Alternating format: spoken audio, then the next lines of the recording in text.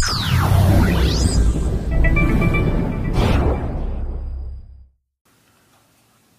everyone, today I'm going to be showing you how to fix your internet connection if it appears to be broken. So what will happen is, let's say you go on your Mac and you think everything's fine, you look up under you know your airport icon and you have full connection and everything looks good.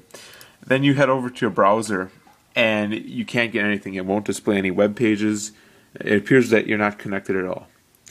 Uh, now, this can be really frustrating, and you know, it can it can make you mad if if you uh, don't know what the fix is. So it's actually fairly simple. All you're gonna have to do is open up System Preferences, uh, which can be found by opening a new Finder window, and then going into your Applications folder, and then scrolling down to System Preferences.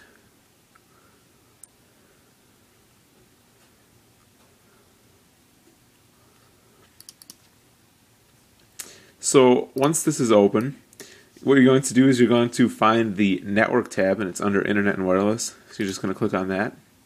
And what you're going to see here is all the different ways you can connect to the internet and the information about them. So the problem you'll be having most likely is that one of your devices will say it has a self-assigned IP. So in this case it's Ethernet and it says self-assigned IP. Ethernet has a self-assigned IP address and will not be able to connect to the internet. Well, that that's you know going to be a problem because even if it looks like you're connected, you're not going to be. So I don't have my Ethernet connected to anything, so it's not going to show that it's fixed on here. But this does work. Um, there's two different options you have. Now the first one's not always the most reliable, uh, but you can try it. You're going to want to click on the Advanced tab. Now this works no matter if you're under Airport, Ethernet, you know, Bluetooth FireWire. So that does, that doesn't matter. So you're going to click on this advanced button down here. And you're going to see this drop down menu pop up. And you can click renew DHCP lease and it's going to take a couple seconds. And you can see uh, nothing changed for me here, which is it's because I'm not connected to anything. I'm connected with Airport. So you do that, then you can try going back and browsing the web again.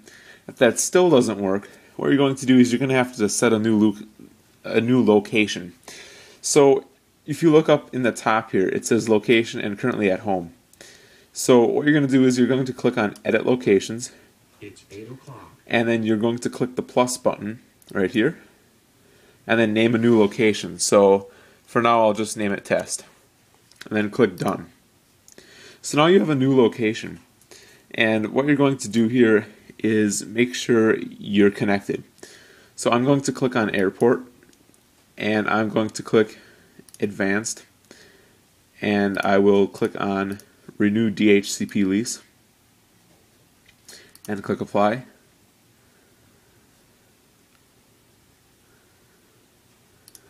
And then click OK.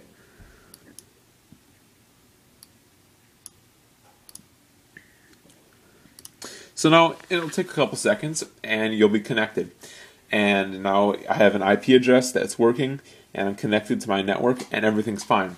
So that's two quick fixes and you should be good to go then. You know, there should be no problems. Um, airport's connected. You could see after I'm in a new location, it wasn't connected and it wasn't getting an IP address. And then it, it's fixed once you make a new location. So, you know, first you can try renewing your DHCP lease. If that doesn't work, create a new location. And that should solve a lot of common uh, internet connection problems you might have. So I hope this you found this useful, and if you ever run into problems with this on your Mac, you'll know what to do. Thanks for watching.